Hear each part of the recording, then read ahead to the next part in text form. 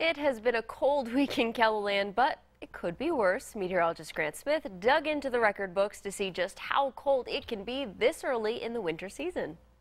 It may seem like a long time ago, but it's only been two weeks since we saw highs in the 50s and 60s.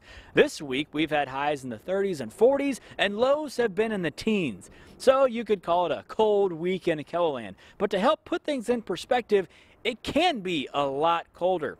Earlier this morning, I spent some time in the record books digging up some of the record lows from this early in November. 9 degrees below zero is the coldest temperature reported in Aberdeen and Sioux Falls during this week, and it happened during 1991. In fact, many of these record lows are below zero.